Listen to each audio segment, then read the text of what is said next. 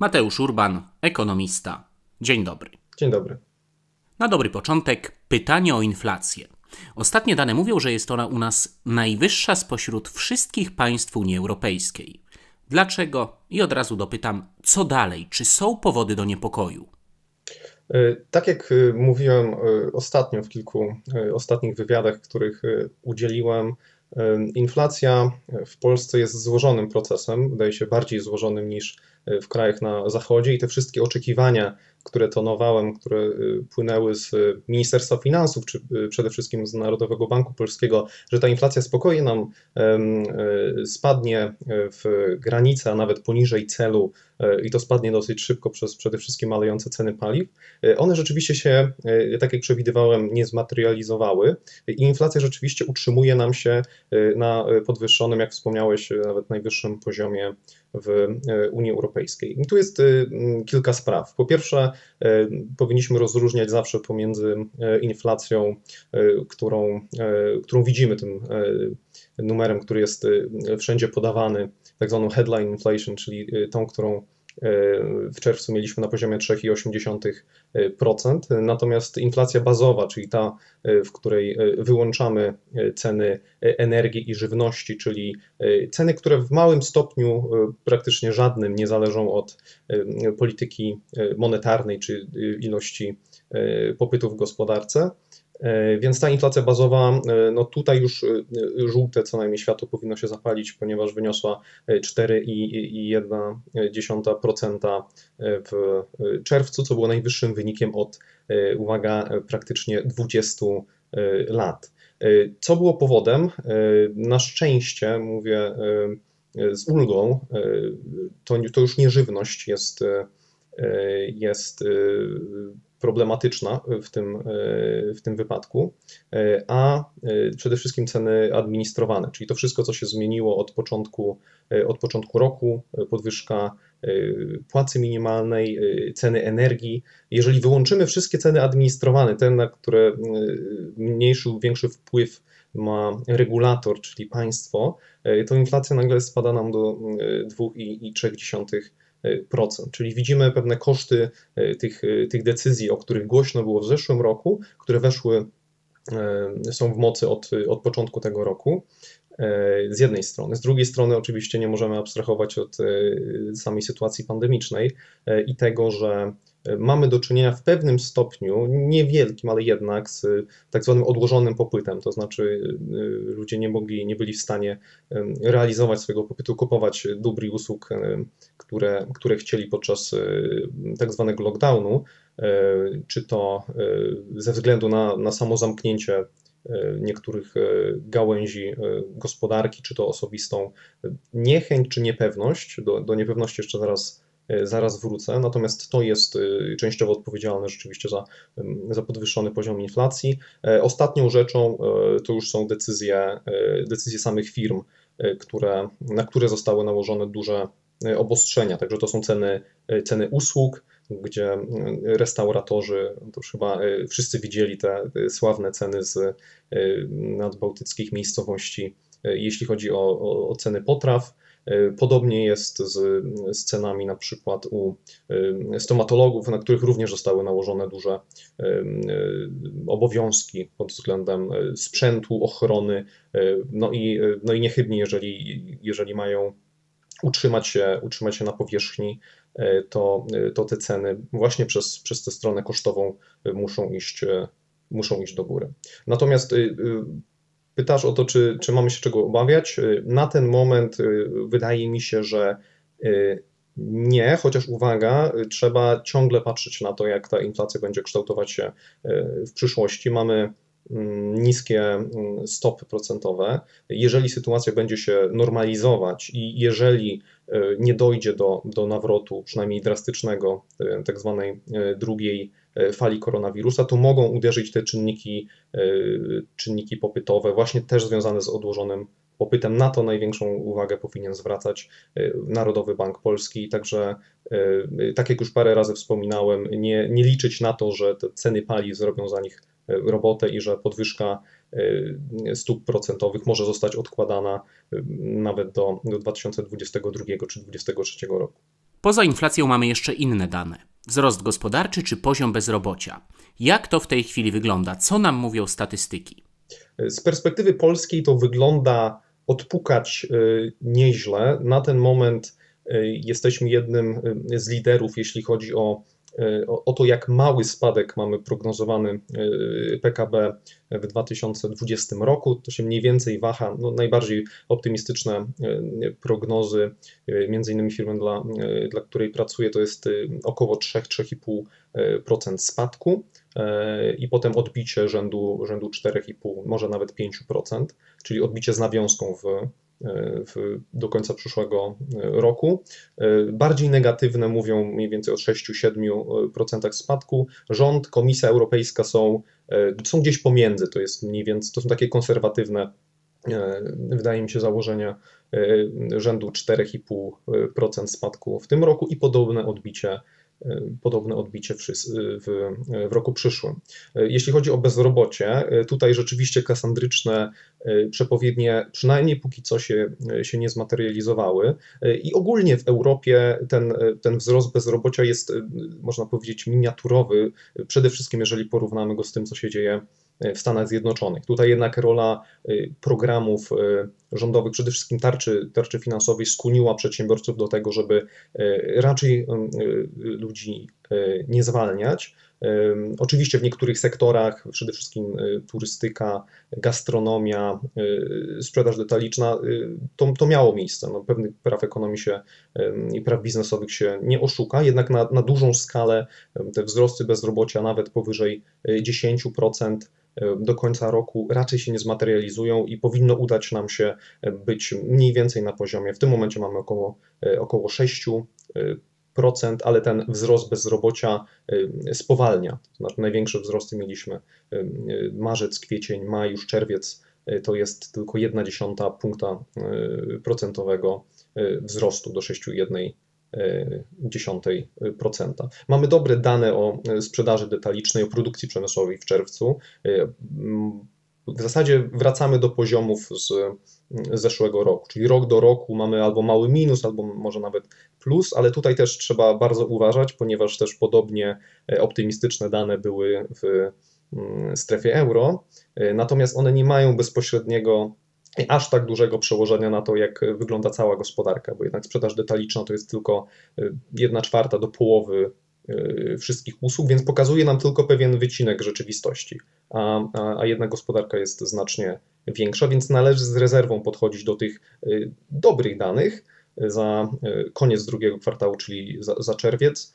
Miejmy nadzieję, że, że dane lipcowe, które gdzieś w, w tym miesiącu będziemy stopniowo poznawać, będą będą coraz lepsze. Mijają kolejne tygodnie z rekordowo niskimi stopami procentowymi. Przypomnę, że są one na niemal zerowym poziomie. Pytanie, czy to już dobry moment, żeby oceniać skutki tej decyzji Rady Polityki Pieniężnej? Y, oczywiście z punktu widzenia ekonomicznego, im więcej mamy czasu, y, tym więcej mamy możliwości na dogłębną i porządną analizę tego, jaki wpływ mają takie, takie decyzje na, na gospodarkę, zwłaszcza, że one w większości nie objawiają się od razu. To znaczy, przede wszystkim, e, jeżeli mówimy o polityce monetarnej, to ten, e, ten czas oczekiwania od, od podjęcia decyzji do ostatecznego wpływu na, e, na działalność gospodarczą, na sytuację gospodarstw domowych Mm, banków, innych instytucji, to może trwać y, rok, y, nawet y, niektórzy szacują, że dwa lata. Także ciężko jest już po kilku miesiącach powiedzieć, tak, to miało jednoznacznie pozytywny, tak, to miało jednoznacznie negatywny wpływ na, na gospodarkę. Ale kilka rzeczy, kilka rzeczy powiedzieć rzeczywiście możemy. Mówiłem kilka razy już wcześniej, że reakcja musiała być zdecydowana, chociaż wydaje mi się, y, i nie jestem w tym poglądzie odosobniony, nawet y, kilku, no przynajmniej dwóch członków Rady Polityki Pieniężnej sądzi tak samo, że mogłaby być troszeczkę bardziej wyrafinowana. To znaczy to schodzenie ze stopami aż tak agresywne i aż tak nisko, przede wszystkim ta ostatnia podwyżka, wydawała się nie mieć i dalej wydaje się nie mieć uzasadnienia, przede wszystkim ze względu na negatywny wpływ na banki. Te mechanizmy opisywałem kilkukrotnie. W skrócie powtórzę, że, że chodzi o to, że im mniejsze stopy tym bankom ciężej zarabiać na udzielonych kredytach. Oczywiście korzystają na tym kredytobiorcy, których raty kredytów złotowych spadają i to rzeczywiście w pewien sposób pomaga im, oni wydają wtedy więcej, więc jest to jakiś stymulus gospodarczy, który E, działa od razu, ponieważ te raty z miesiąca na miesiąc e, spadają, e, ale tu też trzeba uważać, bo jednak kredyty ma specyficzna grupa raczej bogaczy, średnio, średnio zamożnych i, i zamożnych osób w Polsce. One mają niższą skłonność do, do wydawania nowych środków, bardziej więcej pieniędzy oszczędzają, więc też jeśli chodzi o wpływ tej, tej obniżki, zwłaszcza tej ostatniej na, na działalność, e, na gospodarkę Polski, e, tutaj, tutaj będę, e, jestem bardzo, bardzo sceptyczny, uważam, że była, że była niepotrzebna. Już pojawiają się głosy, dosłownie kilka dni temu, jeden z członków Rady Polityki Pieniężnej, pan Kropiwnicki, o ile się nie mylę, mówił o tym, że w 2021 należałoby wrócić do 1,5%, które mieliśmy przez wiele lat przed, przed obecnym kryzysem. I to pokazuje już pewien y, mały, y, rozłam to może jest za duże słowo, ale już pewną różnicę y, zdanie, jeśli chodzi o, o Radę Polityki Pieniężnej i dostrzeganie tych negatywnych skutków, o których mówiłem kilka, kilka miesięcy temu. Skoro polityka monetarna, to dopytam również o tak zwane luzowanie ilościowe. Prosiłbym ponownie, ale to już bardzo krótko, przypomnieć, co to takiego oraz może trochę szerzej, jaka była skala tego zjawiska w Polsce i co z konsekwencjami.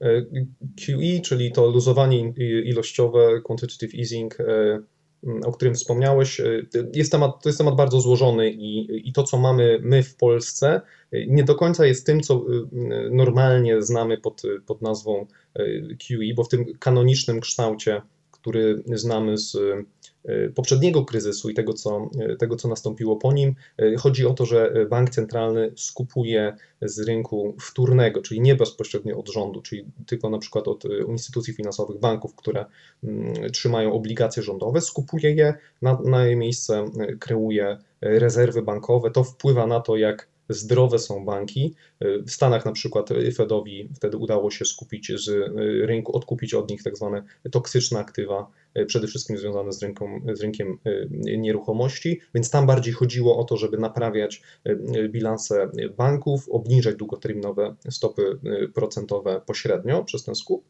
Natomiast to, o, o, czym mamy do czynienia w Polsce, i to też, jak zauważyłeś, tłumaczyłem dosyć szczegółowo w jednym z ostatnich wywiadów, jest bardziej związane ze stroną fiskalną, to znaczy nagle rząd, żeby sfinansować tarcze antykryzysowe i tarcze finansowe, znalazł się w sytuacji, w której potrzebował bardzo dużo pieniędzy, żeby nie dopuścić do tego, żeby oprocentowanie tego długu nagle wzrosło do, do poziomów bardzo e, wysokich, nie mógł e, i pewnie też nie byłoby na to popytu pożyczyć tego e, z zagranicy.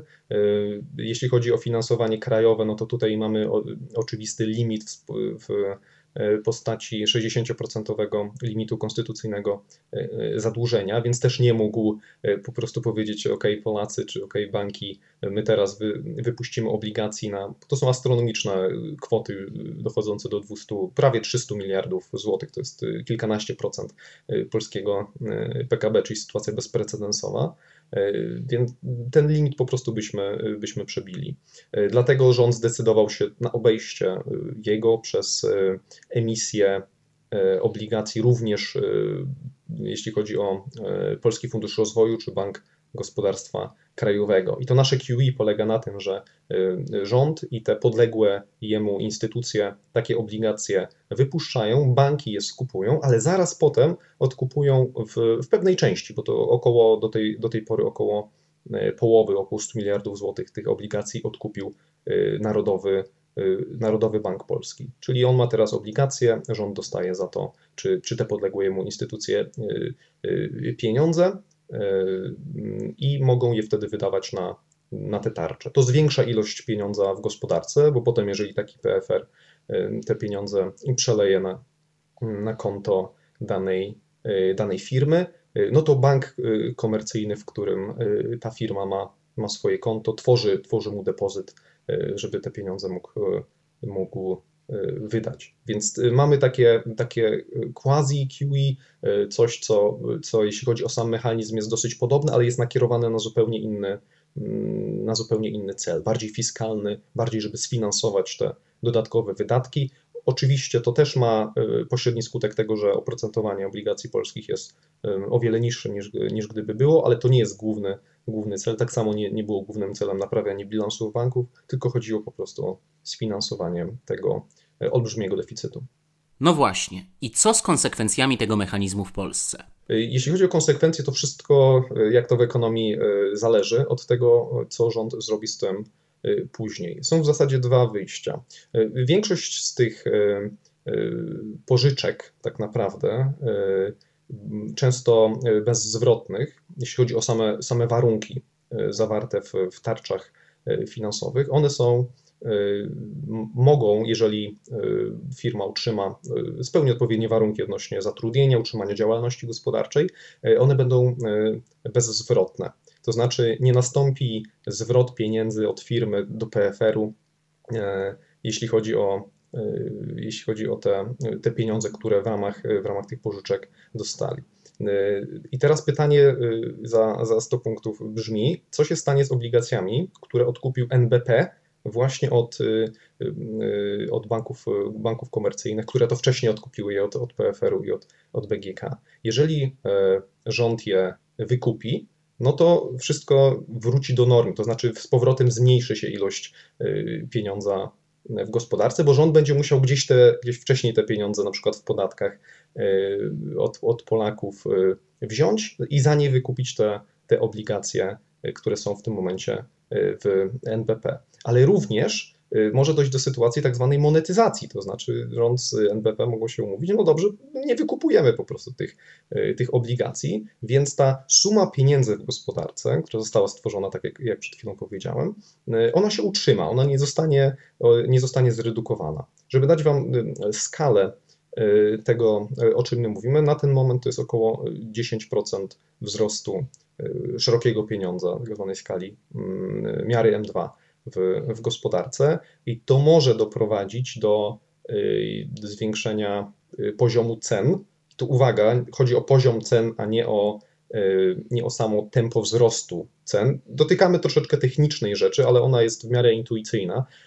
Jeżeli mówimy o poziomie, większym poziomie cen, to to będzie skutkowało większą inflacją przez jakiś czas, ale nie czeka nas scenariusz y, jakiejś galopującej inflacji kilkunastoprocentowej, czy w ogóle hiperinflacji w konsekwencji tego. To może być powiększona inflacja przez, przez kilka, kilka kwartałów, może nawet, y, może nawet 2-3 lata, żeby, żeby ten poziom, poziom cen wzrósł, ale to oczywiście też będzie zależało od, od skali niepewności od drugiej fali. Tu jest jeszcze dużo tych czynników y, popytowych, które też na inflację będą, y, na inflację będą y, wpływać. Bo to, że pieniądza jest więcej w gospodarce, to jedno, ale pytanie też, czy, czy on jest potem wydawany, czy gospodarstwa domowe, czy firmy po prostu trzymają go na kontach przez chociażby większą niepewność.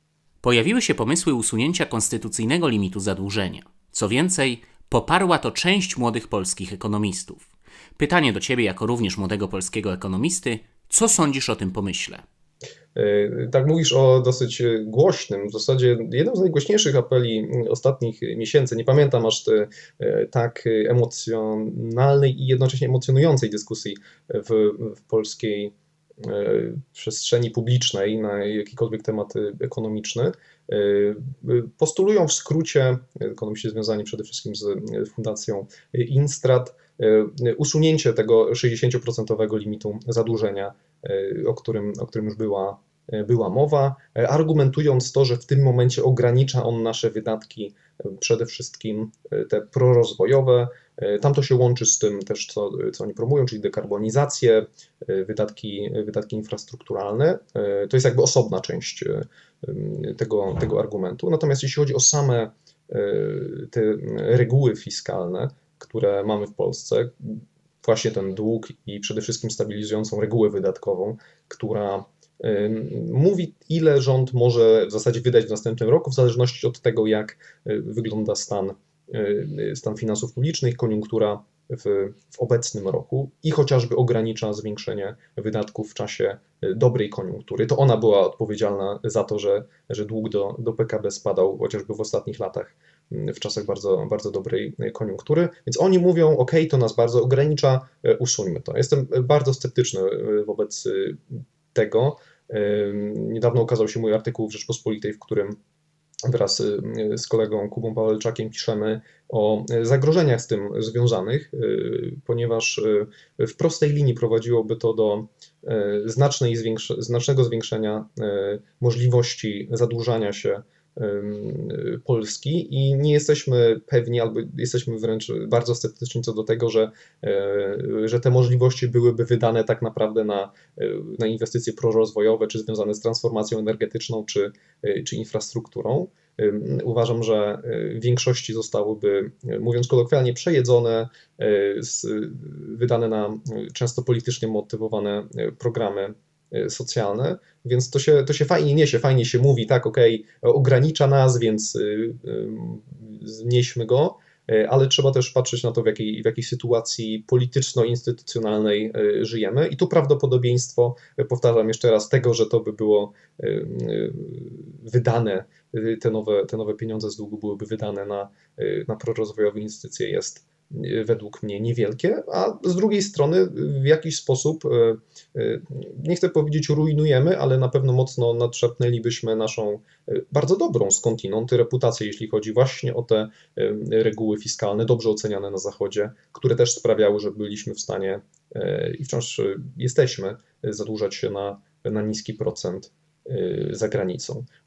To, co my tam zaproponowaliśmy w tekście, to jest zostawienie tych y, reguł jako bezpieczników, przede wszystkim jako narzędzia, które wymusza na, na rządzie e, ograniczanie tak zwanych wydatków sztywnych, te, które niestety właśnie szły, y, szły do góry w ostatnich latach, ale pewnie gdyby nie y, obecne reguły szłyby jeszcze, jeszcze bardziej, ponieważ są, są one po prostu politycznie, jak wszyscy, jak wszyscy widzimy, Y, opłacalny. Więc y, proponujemy dwie rzeczy. Po pierwsze, y, zabronić rządowi wypychania wydatków poza budżet, tak jak ma to miejsce w tym momencie, jakby chociażby z tak zwanym funduszem solidarnościowym, ale jednocześnie dopuszczamy stworzenie tak zwanych emergency funds, czyli pewnych funduszy, które byłyby specjalnie stworzone na, na dane projekty właśnie infrastrukturalne i prorozwojowe, czyli rząd mógłby w jakiś sposób, e, no brzydko mówiąc, no, wypchnąć te, e, te wydatki poza, poza budżet, e, ale byłoby to zrobione w sposób przejrzysty, tymczasowy, to by było z góry, z góry założony czas, na, na jaki taki fundusz byłby powołany. On mógłby wtedy emitować obligacje, modne ostatnio i, i na pewno na nie popyt byłby duży, tak zwane zielone obligacje, które, z których mielibyśmy właśnie potem pieniądze na chociażby transformację energetyczną, czy jakiś inny cel, który uznalibyśmy za, za prorozwojowy. I jednocześnie właśnie nie, nie nadszarpniemy tej reputacji. To znaczy, ten oficjalny dług pozostałby, pozostałby niski, a jeżeli chcemy wyjść trochę ponad, to zróbmy to przejrzyście i, i zwiążmy rządowi ręce, żeby nie mógł tych nowych pieniędzy przejeść na, na nowe, często wątpliwe ekonomicznie programy, programy socjalne. Zobaczymy w takim razie, których młodych polskich ekonomistów posłucha polski rząd. Dziękuję za rozmowę. Dziękuję bardzo.